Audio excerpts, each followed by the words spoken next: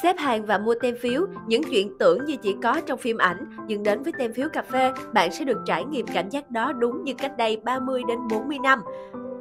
Nếu ở Đồng Xoài, bạn chắc chắn phải thử một lần ghé thăm nơi này để có những phút giây thư giãn thoải mái nhất, cũng như được ngắm nhìn một Hà Nội 36 phố phường thu nhỏ dưới lòng Bình Phước. Khi đến quán, bạn sẽ như bước vào không gian của Hà Nội cổ kính với những ô cửa sổ gỗ kiểu Pháp, những biển hiệu quen thuộc như nhà văn hóa, báo Hà Nội mới hay những góc phố trang tiền, hàng điếu, hàng đào.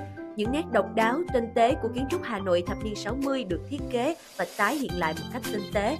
Tại đây, không gian nếp nhà Hà Nội cùng những vật dụng thời bao cấp được phục dựng công phu như xe cổ, bình gớm, máy khâu, radio, TV, loa phường và đặc biệt không thể thiếu tem phiếu xưa cùng những chiếc xe đạp cổ, đồng hồ cổ.